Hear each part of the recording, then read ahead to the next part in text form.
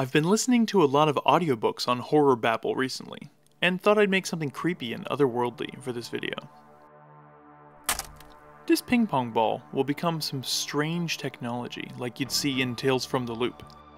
And you could do this by slicing up some caps, which I did here originally, but then I went ahead and 3D modeled something to make it a bit more detailed and uniform. Like always, the STL file will be available on my Patreon. The good thing about having a slight lip around the edge means the hole doesn't need to be perfectly round, which is actually pretty tough to accomplish if you want to try it yourself. Filing down one spot to soften the plastic and turning the ball around while cutting will do a decent job. If you know a better way, let me know in the comments.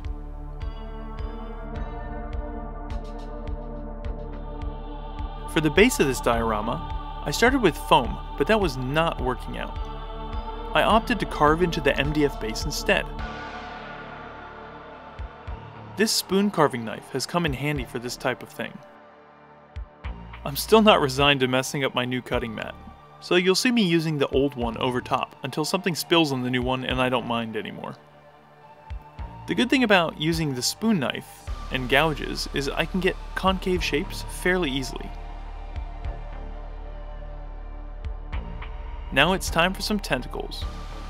I took some oven baked clay and rolled it between two smooth surfaces until I got a shape and taper I wanted.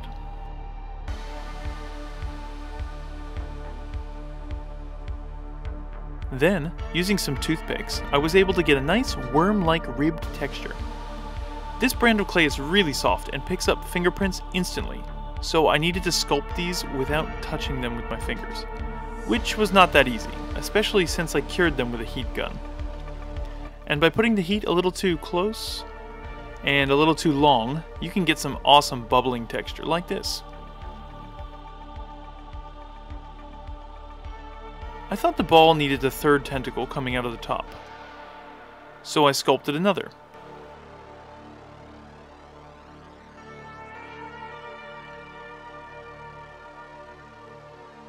Next, I moved on to prepping the base.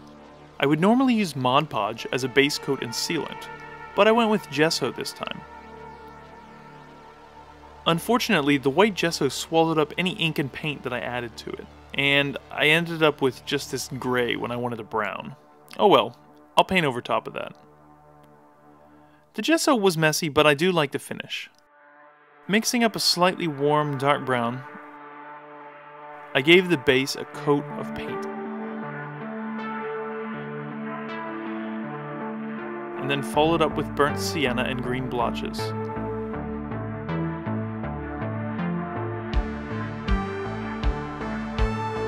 While I was sculpting, I made these organic rings to be the points of contact from the tentacles. And then broke out a bits box to find some metal rings.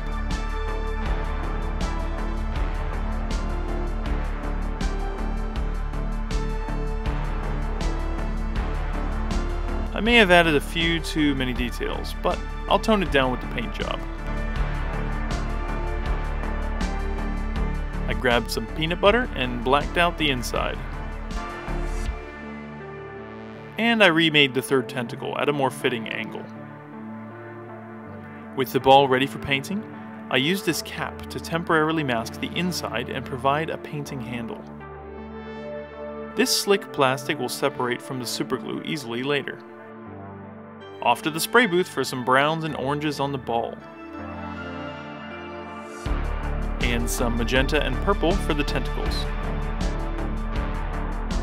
Making sure to hit all the organic details. This ball is looking good and rusty, so let's keep most of that.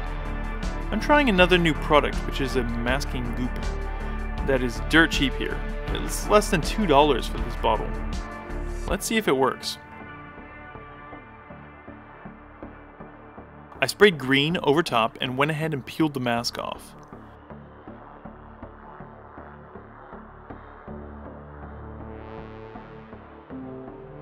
It looks like it worked, so I sealed it all in with a coat of matte varnish. Oh look, a tree that's been painted already! The base gets a patchy layer of coconut coir sifted through a tea strainer. This is the smallest mesh I could find at the dollar store, and it does a fine job for this scale. My adhesive of choice is still matte varnish. With the soil down, I moved on to my base grass in sawdust flock. And then I added a patchy layer of 2mm static grass in a way too bright yellow. The tentacles got a final dry brushing of pink and magenta. And I knocked the brightness of that grass back with some airbrushed shading. Now let's meet our little friend for this scene. He's some kind of cyborg running diagnostics on the alien sphere. As usual, I made sure to hold the Mini almost completely off camera while painting, so you'd miss most of it. but honestly, he's just there to balance things out visually. I painted some additional details onto the rotting stump, and then shook on some contrasting flocks of green and orange. Next it was puddle time. There was a sale on this UV resin recently, so I thought I'd try it out. Before curing it, I sprinkled on some grass flock to blend in the edges. And after curing, I used gloss varnish for the same purpose.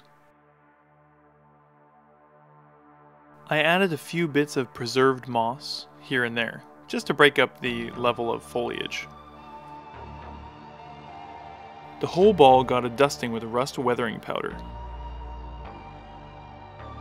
and all of the tentacles got carefully glued into place. After that, I removed the masking tape, painted the edge of the base, and it was done. I mentioned Tales from the Loop earlier, but Rot and Rust on Instagram was another inspiration for this diorama. And speaking of inspiring, thank you to my supporters on Patreon for keeping the gears turning. They are Sensei Level Jimmy G, Scratch Builders Andrew Price, Michael Doherty, Spaghetti Alamode, Harker, Kitch, and Paul Bechtel. And my dollar store enablers. I do love the dollar store. If you'd like to help the channel out too, there are links in the description of this video. As always, thank you all for watching, and let me know what you thought of it by leaving a comment. Go create something, and I'll see you on the next build.